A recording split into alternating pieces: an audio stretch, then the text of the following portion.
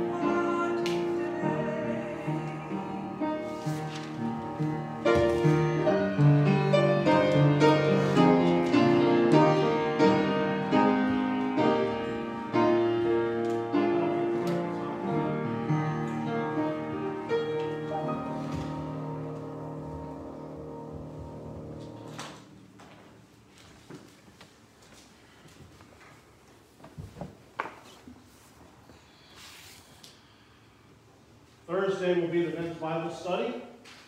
And uh, just a reminder, the early service will be at 9 o'clock, followed by a breakfast, and then we'll have the morning service, which will be uh, service slash the. Uh, all right, let's read our verses together. Ephesians 1 3. Blessed be the God and Father of our Lord Jesus Christ, who blessed us with all spiritual blessings in heavenly places in Christ. For we are his workmanship, created in Christ Jesus unto good works, which God hath before ordained that we should walk in them. Now unto him that is able to do exceedingly abundantly above all that we ask or think, according to the power that worketh in us, unto him be glory in the church by Christ Jesus throughout all ages, world without end. Amen. And be kind one to another, tender-hearted, forgiving one another, even as God for Christ's sake hath forgiven you. Be therefore followers of God as dear children. Put on the whole armor of God, that you may be able to stand against the wiles of the devil. All right, let's take our hymn books and we'll stand together and sing glory to his name.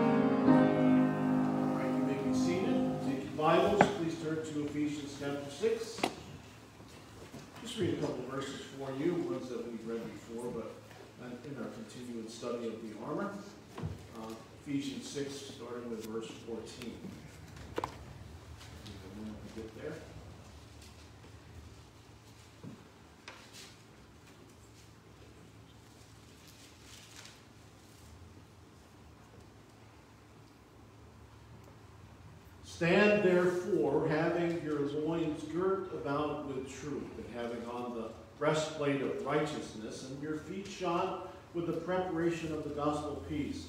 Above all, taking the shield of faith, wherewith you shall be able to quench all the fiery darts of the wicked. Take the helmet of salvation and the sword of the Spirit, which is the word of God. And we'll stop right there. I want, to divide that up. May God bless us as we read this section of Scripture as we continue on in our study of Ephesians chapter 6. As we go to prayer this morning, continue to pray for Matt and Mary, and uh, um, especially pray for Mary as she's uh, dealing with this pain and uh, lack of appetite, loss of weight, and all of these things kind of culminating into um, maybe a slight bit of depression.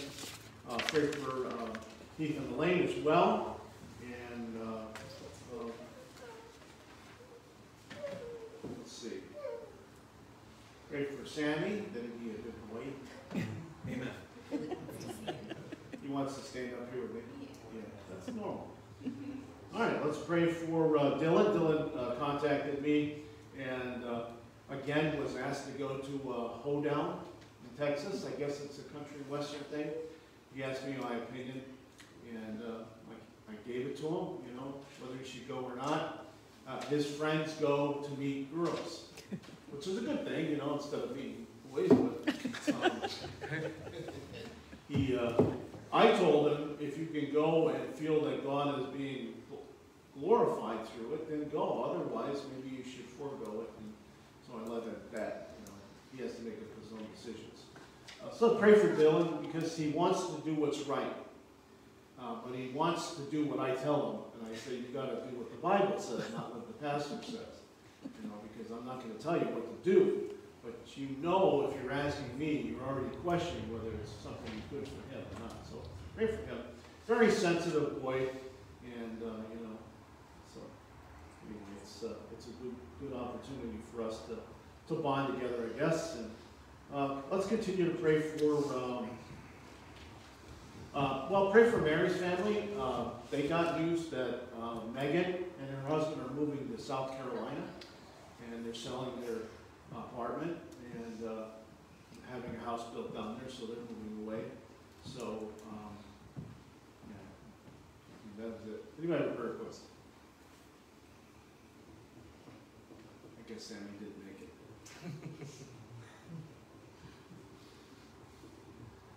All right. Um, Louise, you had a prayer request last week.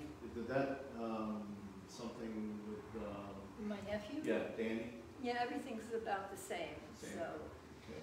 she, uh, All right. he had a cou- couple close calls this week. Um, you can pray for uh, Mary's other family, or sister, daughter, Susan, and her husband and Trevor, Travis, uh, because um, uh, I guess they're having some problems. Uh, Travis is being bullied in school and uh, other things. And plus, uh, his uh, Susan's husband's parents are here in Kings Park at a nursing home, and the mother wants to go home. She, they thought she had Alzheimer's, but she seems to be right as rain now and wants to go back to her home where she lived, and so they don't know what to do, so. um, Pray for our government, of course, and our country, and all the believers and people in Ukraine, and uh, all the different things that are going on in the world, and, you know, so. All right, let's pray together. Father, we thank you for this time. We're, we're praying, Father, with uh, faith, Lord, that you would just direct our steps. Uh, we know, Father, that your word is true and applicable in every situation. We pray, Father, for uh, folks on our list that are uh, having difficulties physically. Matt and Mary, of course, and Keith and Elaine, uh, Louise and Art, bless them and pray for their uh, selling of their house, but your will, of course. And pray, Father, for the family member there as well, Danny. Pray for Mary's family uh, as the, their one daughter moves to South Carolina. And pray for Susan and the family as they deal with uh, difficulties in their life as well. Pray for uh, Dylan that uh, he might maintain his testimony and grow as he uh, serves the Lord down there, Father, and that you would just uh, keep him uh, safe from uh, the, all the difficulties that he faces in, in big university. And uh, we pray for the time that we have together and the moments that we spend in your word, Father, that your, uh, your word would penetrate our hearts, that we might grow closer to you, grow more encouraged to trust you, Father, and just give you the praise. In Jesus' name, amen. All right. We'll sing another hymn together. I need thee every hour, 467.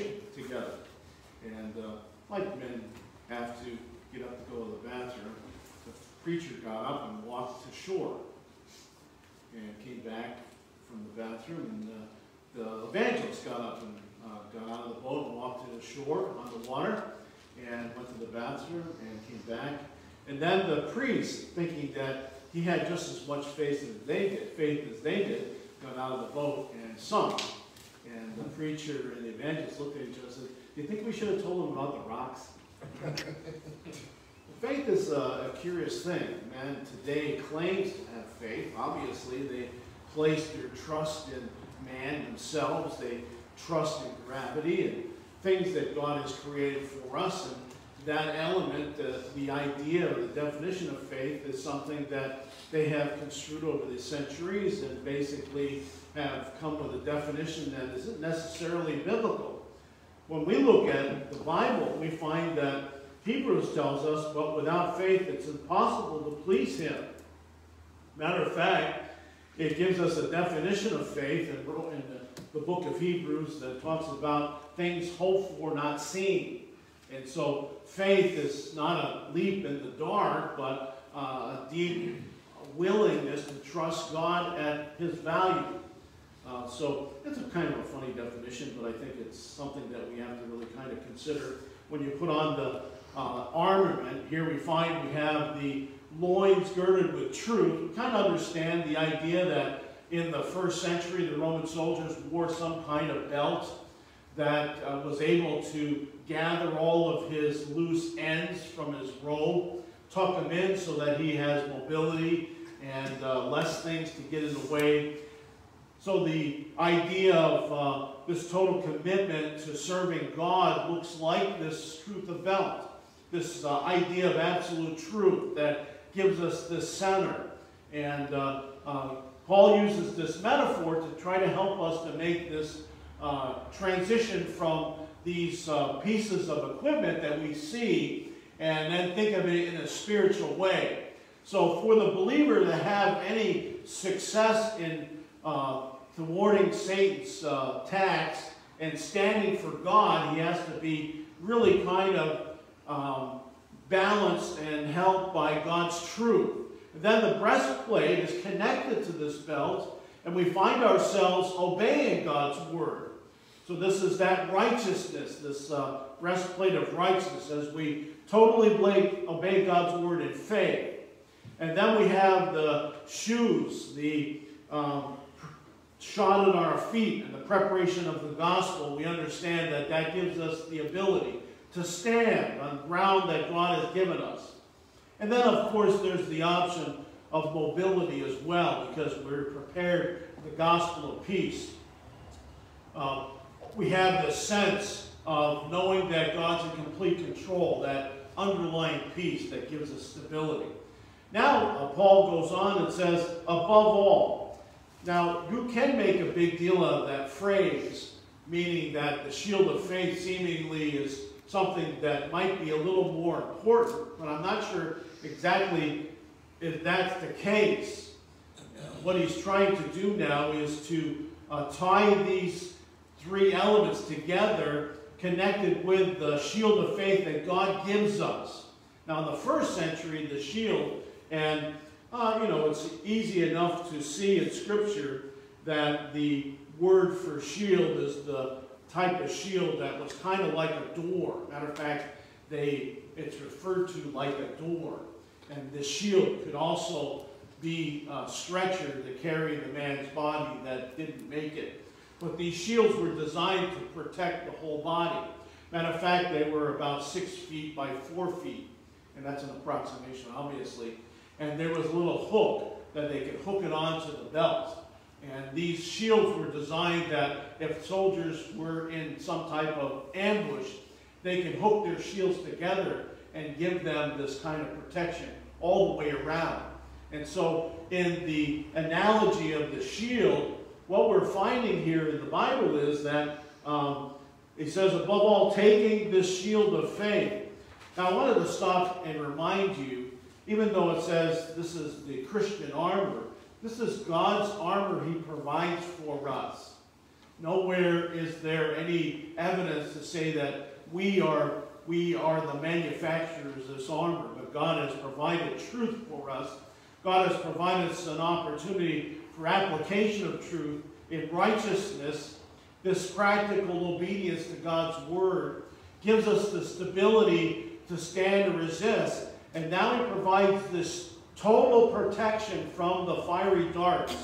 In the first century, they would make these shields out of leather and then sometimes soak them in water because the uh, archers, a lot of times they had three types of arrows. One was a regular arrow, the other one was a fiery arrow. Then they had this other arrow that, when on impact, would spread uh, burning tar.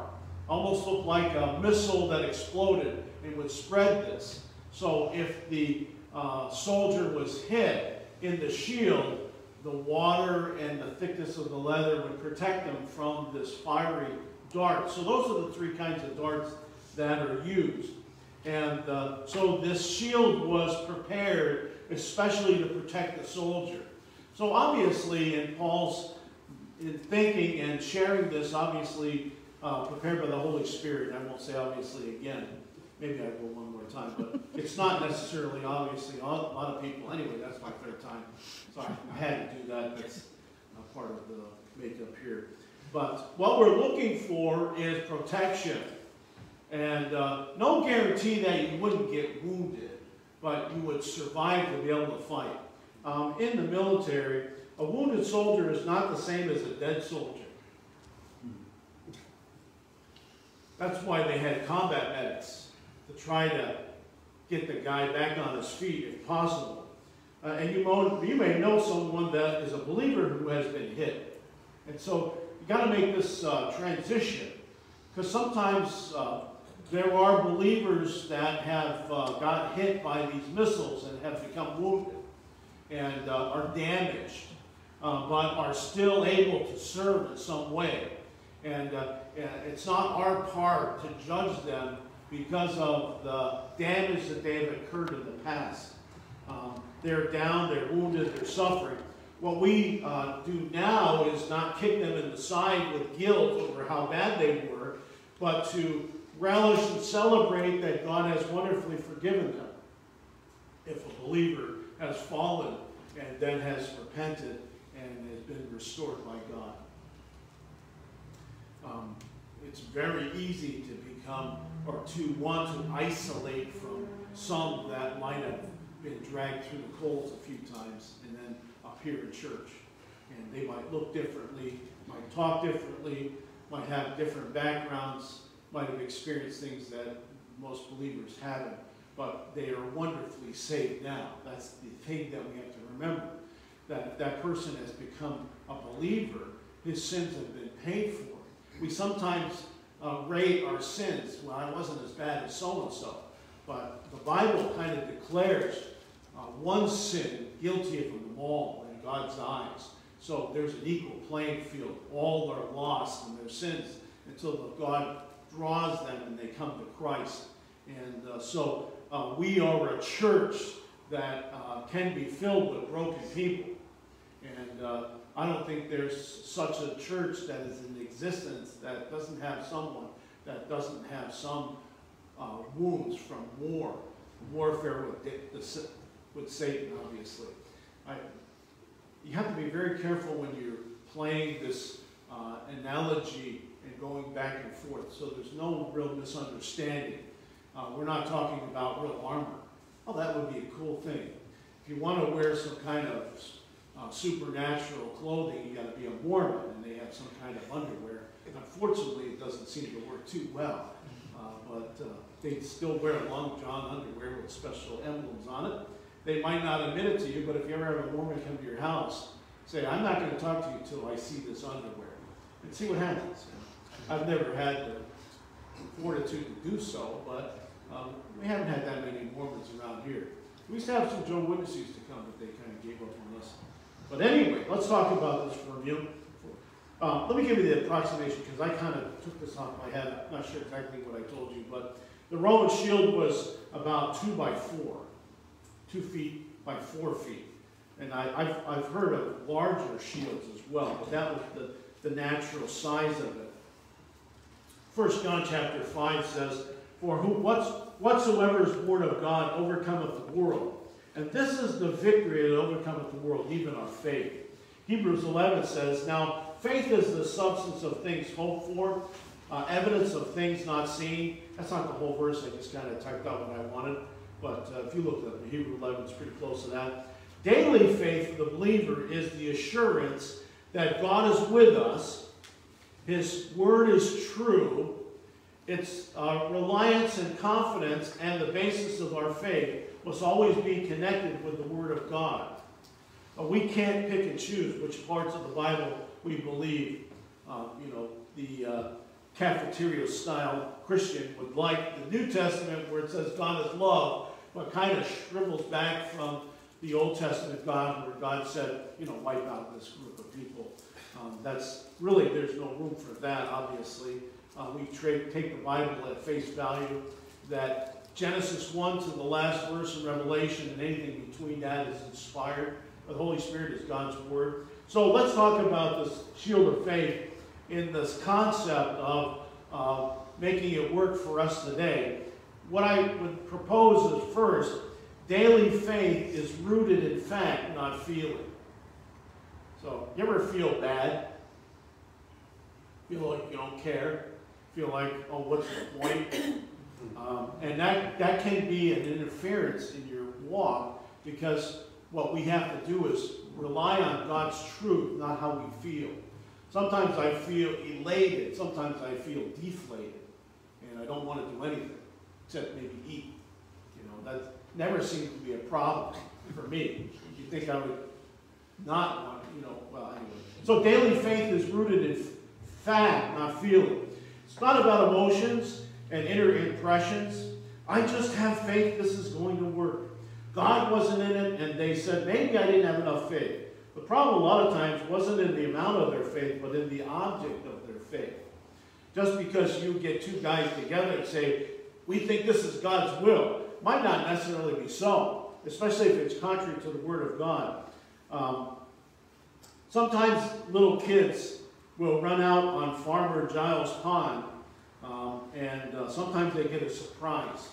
Sometimes it ends in tragedy. The problem isn't in their faith. They had a lot of faith. Too much, actually. The problem was in the basis of their faith. They placed their faith in the wrong object. Um, do you get that?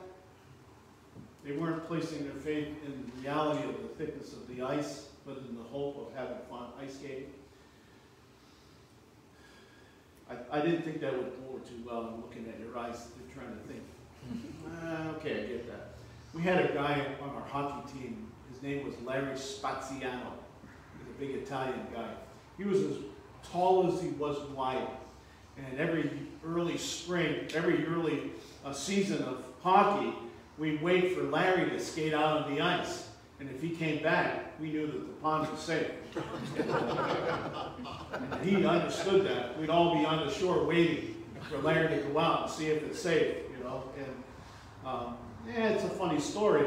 And he was a nice guy too. Uh, I was a younger kid, played hockey with college-age kids, and I'd get pushed around sometimes. And he'd always kind of back me up, you know. The, the big college kid wanted to knock me over, and all of a sudden you'd see a shadow behind him, that was Larry. So Larry kind of kept me safe. And uh, but uh, the idea of placing our faith in things uh, can be misdirecting and misunderstood. Uh, you place your faith in yourself and your man, uh, your mankind, uh, things will go wrong. There were three men walking on a wall, feeling, faith, and fact. When feeling took an awful fall and faith was taken back, so close was faith to feeling, he stumbled and fell too. But fact remained and pulled faith back, and faith brought feeling too.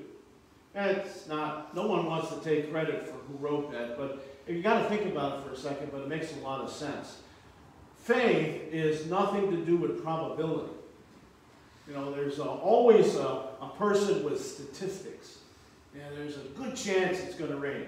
Matt and I always have a chuckle on Monday because we always discuss the weather and how wrong they are. You know, uh, my friend at the golf course lost, he said, $3,000 last Saturday because of the weatherman.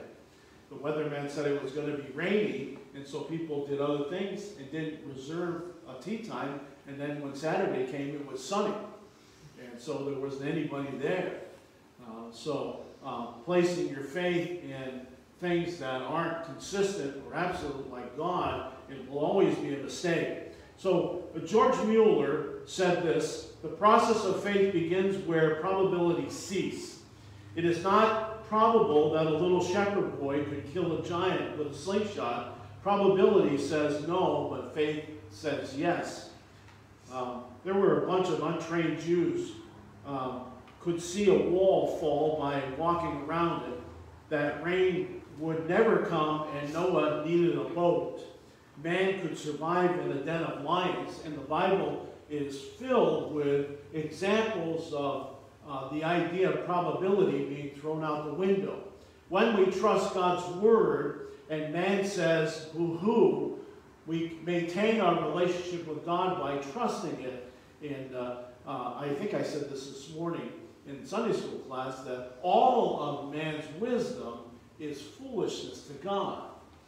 Man will tell you that we've evolved, and God's word says, No, I created you. And I had a conversation with a fellow the other day. He was trying to tell me how to lose weight. And he says, Man has evolved over a thousand years. I said, Let's stop right there. We did not evolve. God created us, male and female, period. And he took him back for a second, and then he kind of readjusted his thing and went on with his little story. But uh, that's an opportunity for us as believers because this man contradicted absolute truth.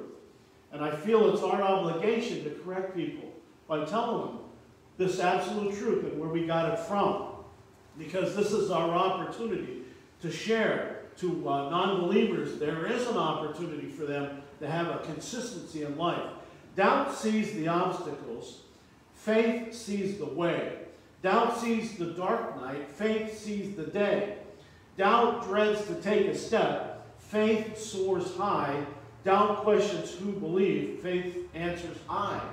And so we have these quaint little things that I've found. They're not from the Reader's Digest. I'm not um, Methodist, but um, I listened to a Methodist guy and then went back and looked up November 98, and uh, his message was right there in Reader's Digest. It was pretty good, but, you know, I wouldn't stoop that low. But this idea of trying to understand what faith is, you have to kind of put yourself in a place where you look at God and say, I can believe God 100% of the time. I will rather choose to believe God than anything else. If you can get to that point where you choose God over anything that man portrays, you're on the right track to trusting God. Listen to 2 Corinthians 5 7, please. I'll read this for you. I'll get my uh, computer to go here.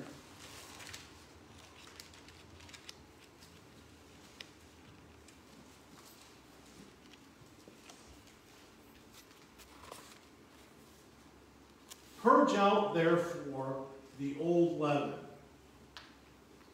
that you may be a new lump. You're in the wrong As- place. What? You're in the wrong place. That's why the Second Corinthians, I'm sorry. I- You know, sometimes we try, well, I'm gonna try to make it work. I must have picked the verse for a reason, but, thank you, Margaret. Now, this will make more sense to you. For we walk by faith, not by sight. Oh, I could have made that work. Walk by faith, not by sight. Live by faith, not by sight. Uh, breathe by faith, not by sight. Answer your uh, questions that people give you by faith, not by sight. And uh, this concept of allowing God's Word to uh, envelop our understanding, and so that when we begin to share the truth, it's always God's Word will be in the right direction, uh, gives us confidence. He says, We are confident, I say, and willing, rather to be absent from the body the presence of the Lord. Wherefore we labor that, whether present or absent, we may be acceptable unto him. The idea, everything that we say, do, and think, glorifying the Lord Jesus Christ, and always uh, sticking to the Word of God is the right avenue to take.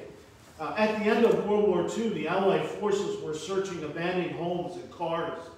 They entered the basement of a house of ruins. A Jew had spent some time. Now, I should have said a Jewish person because I think saying a Jew can be derogatory, or am I wrong? A Jewish person, how about, what do you think? You're a Jewish Depends person. on the context. Okay. Uh, This Jewish person spent some time there, a victim of the Holocaust, scratched into a wall these words I believe in the sun, even when it does not shine.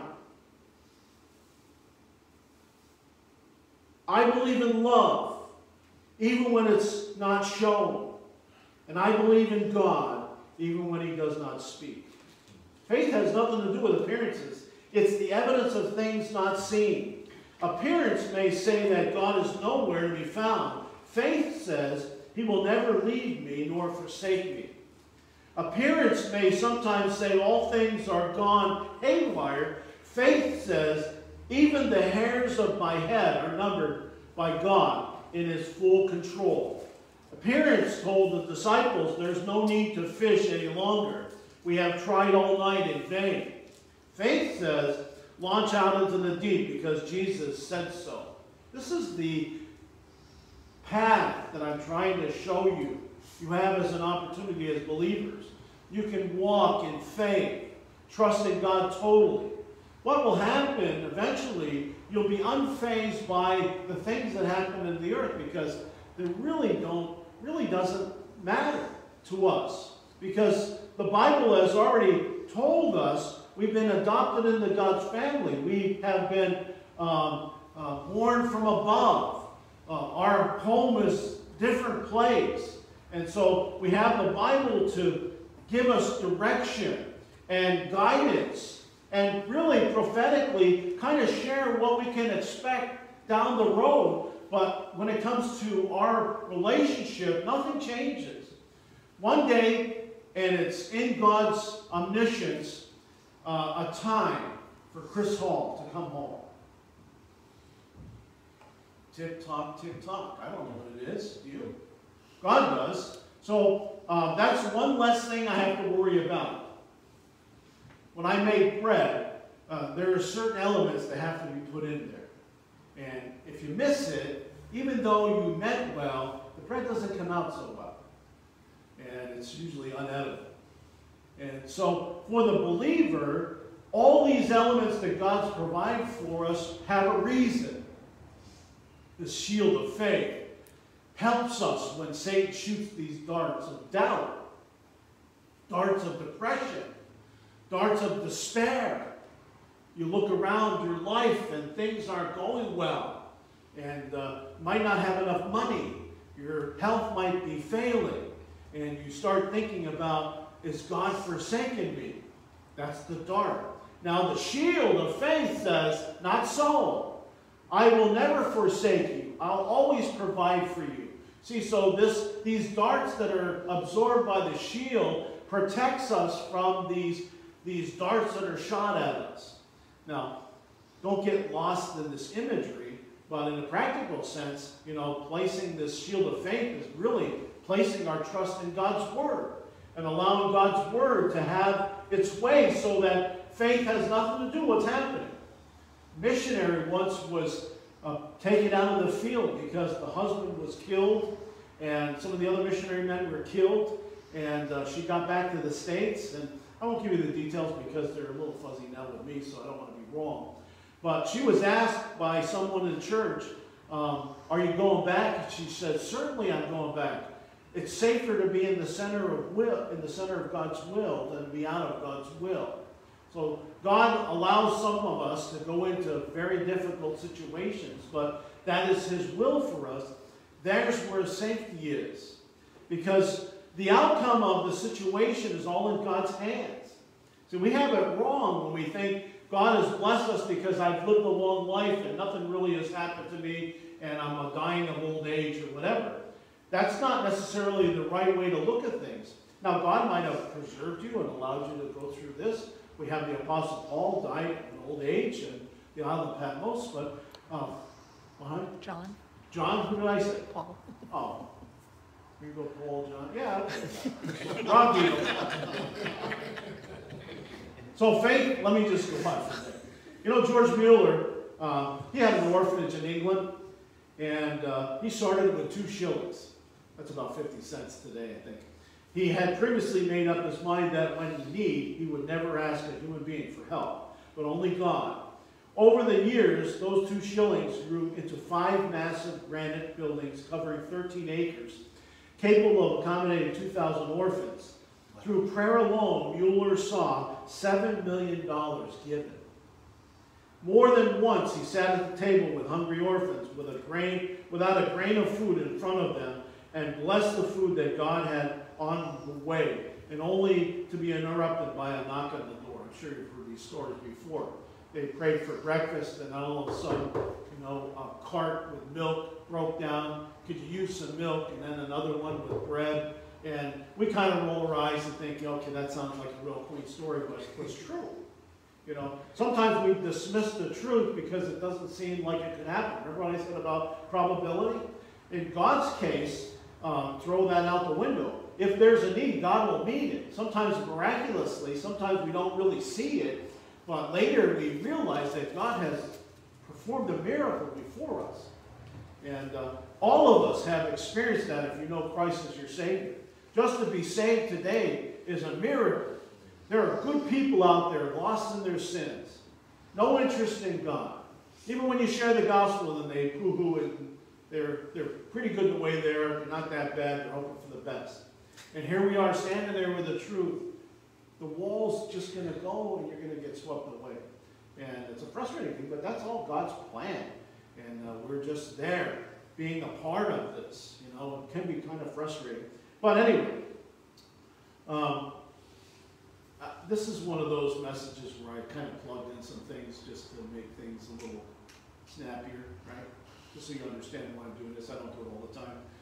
There's this guy named Cliff. No, actually, he was hanging off a cliff. So, but you can remember his name is Cliff. And was hanging from a roof. Can you picture that now? Hanging from a roof. He caught as he was falling. He called out for help. And all of a sudden he heard a voice saying, I'm here. And the, said the voice, Who are you? It said, The Lord. I'll help you. But you have to let you have to trust me. Okay. Uh, let go of the roof. And there was a pause, and it says, Is there anybody else out there? Unfortunately, a lot of times that's kind of how our faith is. God has already told us this is exactly what He wants. We're looking for loopholes and options. I don't really like to share the gospel, you know, because I have to talk to people I don't like. You know, I remember when I was younger, I used to say, "I want a church in Alaska." You know, and so what did God give me? A church in Commack, with about as many people as I would get in Alaska. You know, so go figure that. At least it's warmer down here sometimes. This kind of faith, explained, uh, is uh, uh, faith that is lacking in trusting in God. Let's look at uh, faith expanding. How can we make our faith, uh, our shield of faith larger, increase our faith? Now, the Bible doesn't say this, but history tells us that they did maintenance on these shields. And had leather on it, and they would soak it in water just before the battle and repair whatever was damaged on this thing. And so uh, you can make the case that a lot of times in Scripture, the Holy Spirit was symbolic by oil or water. And so some people have written uh, copious uh, pages of uh, uh, minutia about the Holy Spirit involved in this idea of the shield of faith. And I think you can kind of make it work a little bit to think that, you know, if we're trusting in God, certainly the Holy Spirit's involved in this. Because as we fill our minds with God's Word, that's part of the ministry of the Holy Spirit to give us the confidence, encouragement to trust Him and to guide our feet to, to show us the way to go. And so, in that case, I think that we can make the case that faith grows gradually. Think about it for a second. When you first came to Christ, you had that element of faith. You placed your faith in Christ. But 20, 30, 40 years later, your faith should be more muscular, more stronger, uh, more, more uh, based in uh, the Word of God. You don't obtain strong faith all at once, any more than an infant becomes an adult all at once. It takes time, proper nutrition, exercise. In Sammy's case, I think they're feeding him a little too much. He's uh, the size of a four-year-old, but he's a two-year-old brain. And uh, would you say he's in the bad twos? He wants what he wants and he wants it. I've seen that already. You know, and he fixates on things. My computer every hour tells me what time it is. It's two o'clock in a kind of robot voice. So he's been kind of fixated on that thing. That plus Alice, our, our uh, computerized vacuum cleaner, you know, he, he's always traumatized when he comes to Papa's house. But anyway, faith grows gradually. Abraham is known for his faith, but if you uh, look at his life, in his early life, he lacked faith. Even in older years, he faltered. He wasn't just born a man of faith. It kind of grew gradually. Uh, Hudson Taylor was a pioneer missionary in China, and uh, you know his uh, story started out very small, and uh, it took years and years and years and years and years before he ever saw really any kind of uh, results from his ministry. Uh, number two, faith grows scripturally. Faith comes by hearing, hearing the word of God. Faith is trust, and the way you come to trust someone is by getting acquainted with them. You trust someone, you know, as an apprentice, and then you help them along the way, and give them little bits of responsibility. It's similar, similar to a parent. We don't just hand the keys to the kid. Here, run down to the store. You know, he's only 12, but he might make it. We wouldn't do that. Not a good parent. But eventually, we trust him enough to let them take the car. Just like we give our kids chores, that gives them an opportunity to reveal to us that they're maturing and, or learning how to hide, which was my son's thing. There's uh, some I would trust with money to the bank or with my wife in a car because I have come to know them. And the more we get to know our Lord, we come to know His power, wisdom, justice, love, and gentleness. We learn that this is true.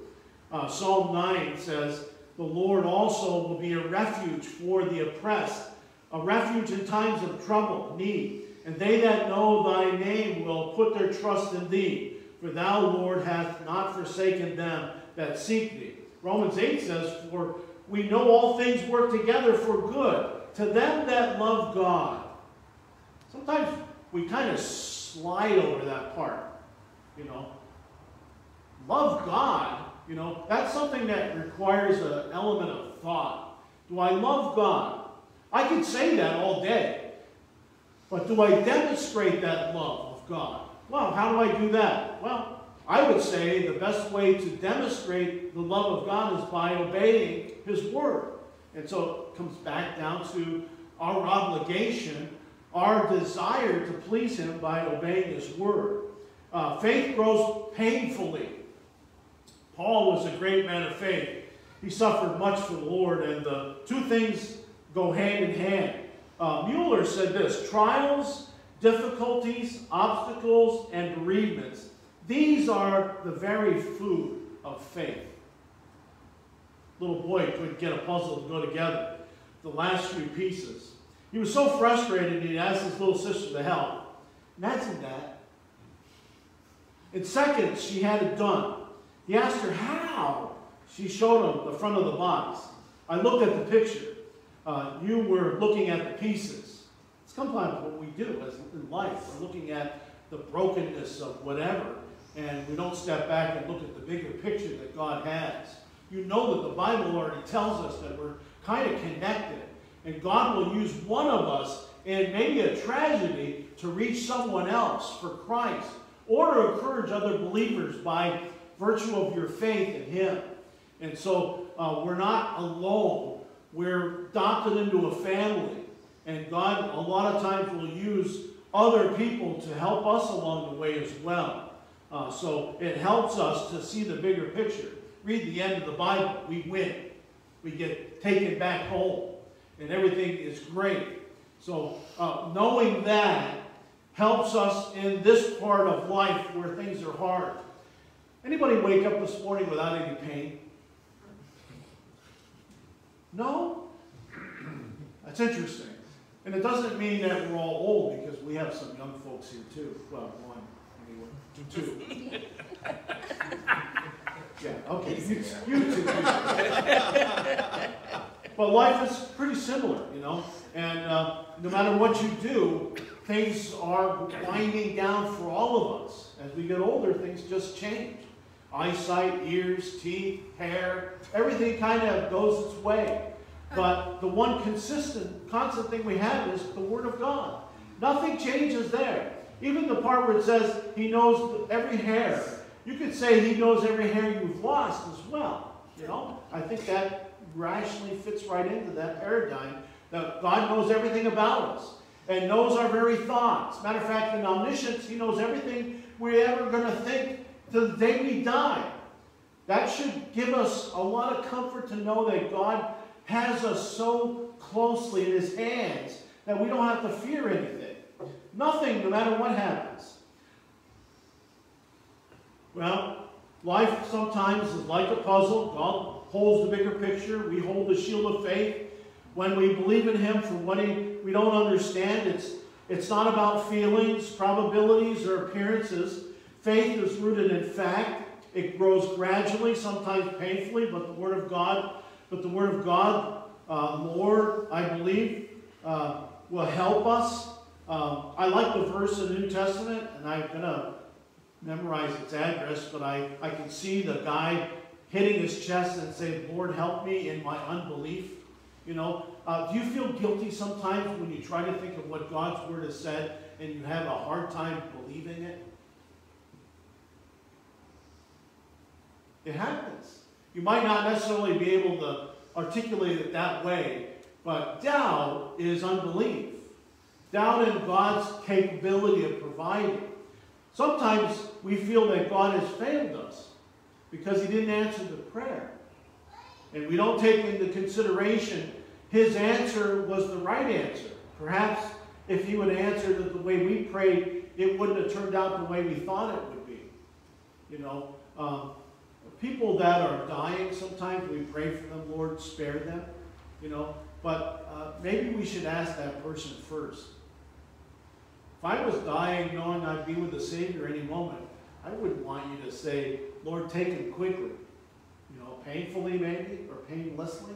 But, uh, um, you know, I don't, I don't want to be left here any longer than I need to be. Uh, it's not about uh, um, man making the decision, making the call. It's all about God. If I was gonna, I have a little note. If time permits, we're going to make the transition into the helmet of salvation. But in six minutes, that might not work, other than saying there is a helmet of salvation. Go in peace. So we'll pick up next Sunday on that. Don't allow the analogy, the metaphor, to dilute the truth that God's Word has for us here. He has provided us everything that we need. There is nothing within us that can uh, cause the armor to fail because all the proponents of the armor God gives us at salvation, the truth is readily available. If we choose not to apply it, then it's sin on our part. It's not God's failure. And the uh, willing to obey the Word of God, that starts when we're little, new Christians. And uh, uh, trying to reinforce that in believers, you know, that Obedience is not an option. It's not an option. You know, and uh, just because you don't feel like it, that doesn't excuse you. And that's basically the, the number one reason not to obey the Word of God. I don't feel like it. You know, I'm not going to go share the gospel with that guy. He, he looks sinister. He might shoot me. He might stab me. Maybe he'll rob me. But, you know, in considering that if that was God's will for you, what a way to go as a martyr. I don't want to be stabbed, robbed, or shot, but uh, who am I to question God's will? See, we, we question God's will because it's not convenient for us. So I'm not putting a guilt on you because we already have it on us as uh, believers. And I don't know, I've never really met any believer that was totally 100% on board all the time. There's periods of time where we fail him by doubting him. We might not fail him in disobedience, but I think doubt is, falls into that category. Uh, but the shield of faith is something that the Bible says that we are to take up above all. So that's a necessary part. So what can I do to build my faith? Well, simply the building stones for faith, obviously, is obedience. Trusting God, seeing how God provides, and growing, going on from. Next time you have an opportunity to see if you need to trust God, think about these things. Picture in your mind standing there in front with your armor on, shiny and big plume coming out, you know, uh, breastplate of righteousness. It's the only time you're ever going to have a six pack is when you're wearing this breastplate of righteousness. You know, show it off, and uh, that sword is as sharp as can be. Know, the Word of God is the only weapon that we need. It's not my opinion. It's not my ideas. It's the Word of God that penetrates the hearts of folks, that thwarts uh, the satanic attack. When Satan attacked Eve in the garden, he just kind of twisted things. He questioned God and uh, questioned and put a doubt in her mind about whether God was sincere or not. And that's, that's how he works today. So how do I protect myself? I fill my mind with the Word of God and I act on it, trusting Him step by step. All right, let's pray together. Father, we're thankful for this opportunity. Pray, Lord, that you would just lead and direct us. Help us, Father, to uh, just trust you totally as we envelop our minds with the Word of God, that we might just obey your word without thinking, just obedience. Pray, Father, that you would give us opportunities to share the truth uh, with others in this world that we live by.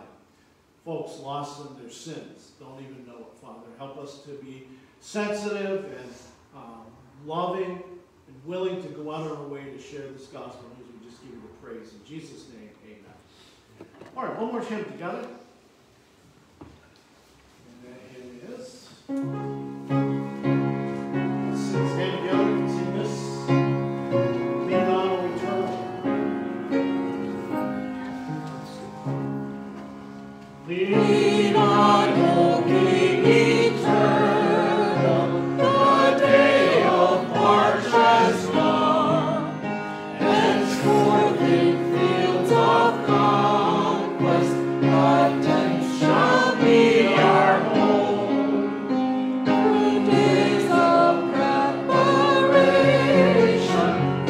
Grace